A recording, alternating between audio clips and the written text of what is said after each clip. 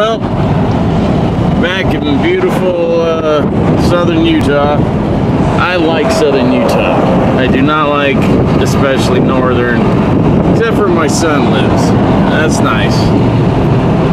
But he doesn't live in Utah, he lives in Wyoming. Right. So, but this is where I used to live uh, when I was my last mistake, which was called uh, Sherry or the Deuce, as I like to call her, because she was the second one, and Deuce fits her.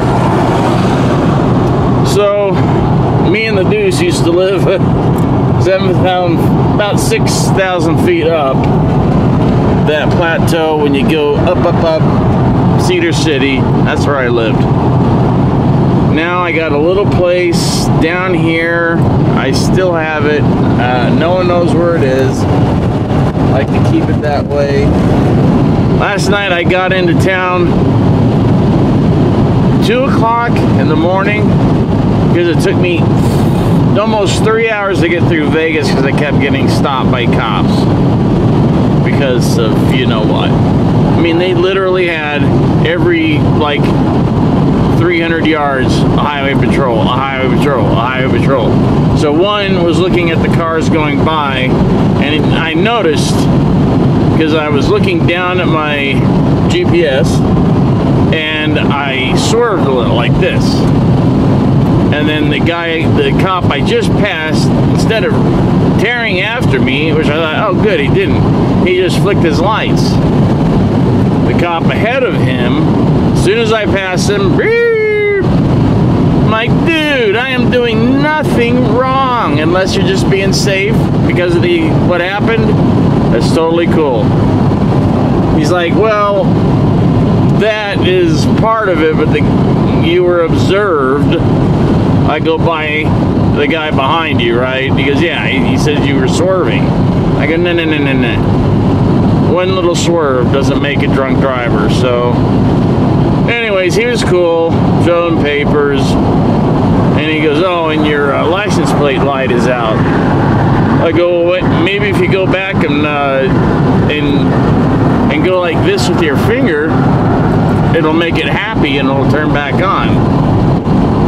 And then he just looked at me, and I'm like, oh shoot. And then he's like, oh, that's funny. No, no, no, you just check it out when you stop tonight, you know, see if you can get it to work. I go, yeah, I just put a new one in. He goes, well, there's no lens. I'm like, there's no lens. Well, that's a problem. So there's nothing holding the bulb in. So, whatever. So that's that, but now I'm going to be in southern Utah for a while, then I'll be in mid, and then I'll be in northern, and then I'll be out. I got another 500 miles to go today to get to my son's, and then where we're going to be hanging out. But uh, yeah, I'm spreading guitars out, spreading them out. So, because I'm thinking people are going to start picking up, and you know, in Burbank there's no problem because there's always somebody there. They're all armed. They all have massive amounts of arm armament, shotguns, mainly shotguns.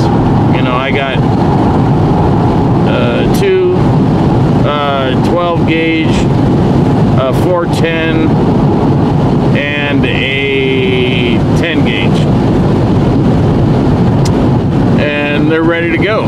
So, you know.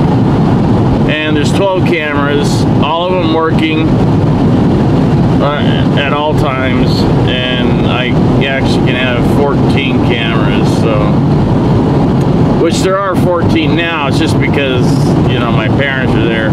But they won't leave the house without me. So my dad's just kicking back. Like 43 miles of Cedar. I remember, because I used to drive this back and forth. Sunday night, drive from Cedar to Burbank, work at FotoKem, the worst place in the world where Eric Cohen, the absolute worst manager on the face of the earth, that little jerk. Or he could be another little J. But uh, he is. He's a, he's a horrifying manager. Once he's made uh, general manager, I was the first one to go. You know why?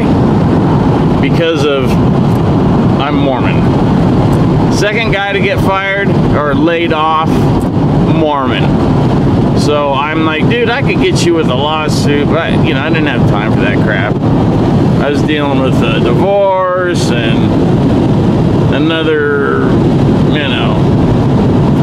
offer, which I was going to take and my wife followed through on the divorce, but then she wanted to get remarried, so I was on my way up to remarry her. We all know the story. I got in a wreck, and while I was in the coma, she decided to leave me, and she sold her house, and that's why I don't have the big house up here anymore. I just have the little one. Blah, lady blah.